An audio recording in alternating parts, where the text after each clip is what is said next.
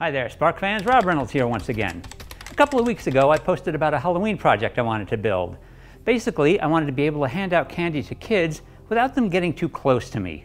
And maybe it's because the CDC and the WHO are still recommending we maintain social distancing. Maybe it's just because kids are sticky and grabby. But I wanted to be able to hand out candy and keep a distance. So I came up with this. I had the concept earlier this year, started working on it about two weeks ago during the first post, and I was actually able to pretty much complete the thing. So here's how I did it. First, I used a pair of ESP32s. One actually our Skella board. There might be a couple left if you want to grab one. Uh, so on the kids end, I've got a big red button with an ESP32 here.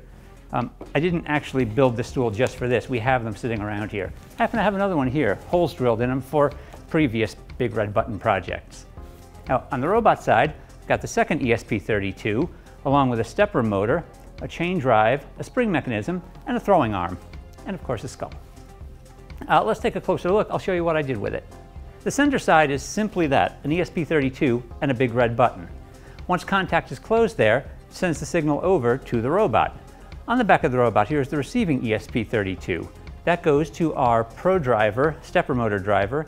And if you read the initial blog, I talked about using the 68 ounce inch stepper motor. That turned out not to have enough power, so I had to bump up to the 125. And this works perfectly. We've got a simple spring mechanism, much like you would find in a single arm baseball pitching machine. That's pretty much all there is to it. A few 3D printed parts, some Actobotics I had lying around, and there it is. Now, my vision for Halloween is this. I'll be sitting on my porch next to zombie baseball pitcher here. Now, kid will come up my front sidewalk, stand on the big red X. Of course, if he's ever seen a Wile E. Coyote cartoon, they'll know better, but chances are they won't. So, stand on the red X, hit the button, at which point, zombie baseball pitcher springs into action. The arm moves around, picks up the candy bar, and throws it with amazing accuracy and consistency right to the kid. Here, I'll show you.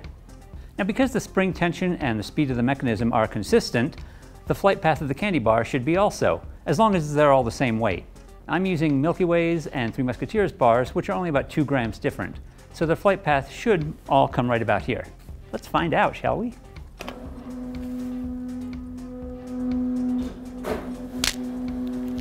Oh yeah. Okay, so as you can see, because candy bars don't all sit exactly in the same spot in their wrappers, there seem to be a couple of misfires. But I think that just adds to it. It's trick or treat, right? Treat, you get candy. Trick, oh well. Sorry, kids. Um, so there's still a little bit of more work I have to do on it before Halloween.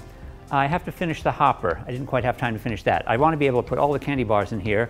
I've got this feeder hooked up to a servo, so it should just tilt back, grab a candy bar, move forward, and the arm will throw it. Ideally. But that should be it. Um, next incarnation, probably next year, I've got a couple of ideas. I may put it on a turntable and give the kids two options, two buttons, and depending on which button they push, the zombie will aim in that direction and throw the candy bar.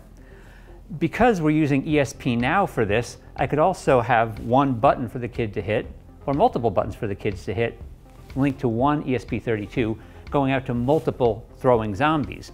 Because with ESP-NOW, you can do that. That might be really cool too. Anyway, that's next year's problem. Let me finish this year first.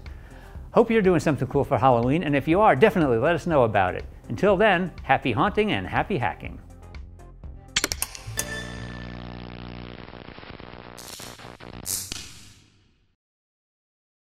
I better try, only try it on camera.